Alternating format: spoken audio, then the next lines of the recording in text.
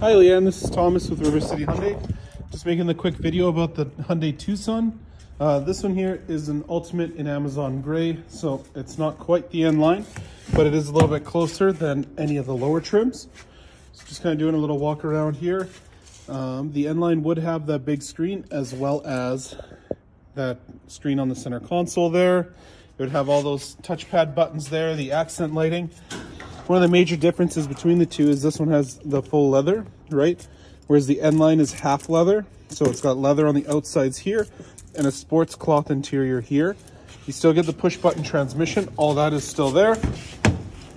In the back, there's loads and loads of room in here. Uh, me, myself, I'm six foot one and I can adjust the front seat so that I fit comfortably and then sit behind myself with lots of room.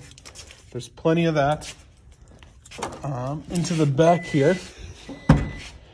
So this one has a power tailgate. The N line doesn't. These are the customer's mats that they ordered.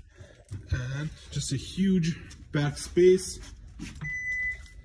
On the side, you can see all the really nice aggressive lines, giving the new styling and everything. Honestly, it's a beautiful car. Very nice with the redesign.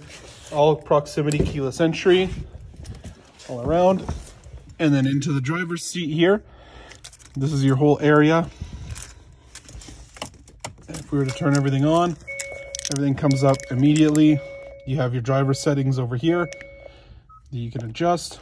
Full navigation, everything already done.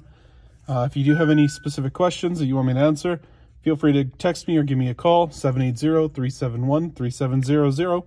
I hope you have a fantastic day. Enjoy.